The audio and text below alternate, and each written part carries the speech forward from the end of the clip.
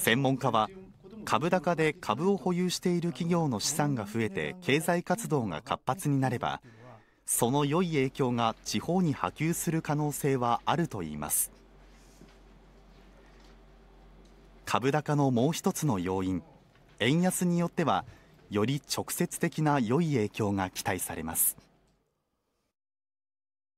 県産品を海外に輸出したりとかあとあるいはまあ日本にしか流通してなかったものを、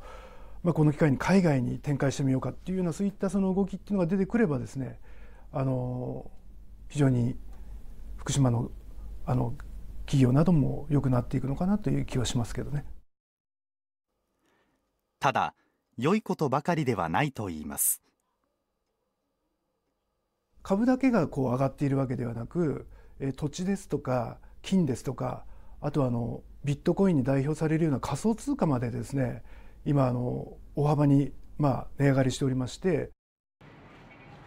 全国に比べて保守的で預貯金の割合が大きい東北地方。株や土地などが高騰して現金の価値が下がるインフレが行き過ぎると資産が目減りするため防衛策も必要だと話します。正しい金融知識を身につけて正しくご利用いただくということがですねあの、まあ、価値の保全につながっていくのかなと。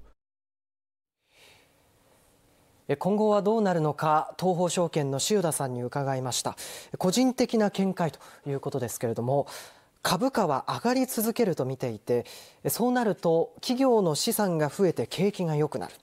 不安要素はインフレによる現金の価値の低下ということです。まあ、株を持っているかどうかで明暗も分かれそうですけれどもかつてのバブルの歴史を繰り返さないことを祈ります。